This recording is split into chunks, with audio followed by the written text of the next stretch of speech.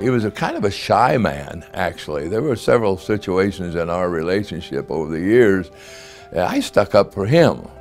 Um, we're playing uh, the Ice Bowl, and a week before the Ice Bowl, uh, there was a uh, Esquire magazine writer that came into time into town by the name of Leonard Shecter.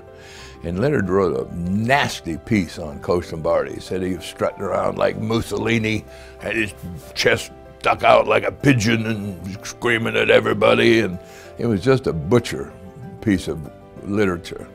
And uh, Coach Lombardi's mother heard about it, I heard, and we heard that she was crying and very upset and very distraught over the article. And I said to myself, I said, if I ever get a chance to speak up and say something in his behalf, I damn sure will do it. And luck would have it, the block in the Ice Bowl got me in front of the cameras, and Tom Brookshier, which is a, rare expense for a lineman, lineman to get in front of the cameras. You know, we don't we don't do that every day. We're not like the running backs and the quarterbacks. But Tom Brookshier said, Jerry, uh, what about Coach Lombardi? There's been a lot of controversy about him. Um, what, about, what do you think about him? I said, Brookie, people don't know Coach Lombardi. They don't understand him. They have no idea who he really is. We know him, we understand him, and we love him. This is one beautiful man. And uh, I think those words were appropriate.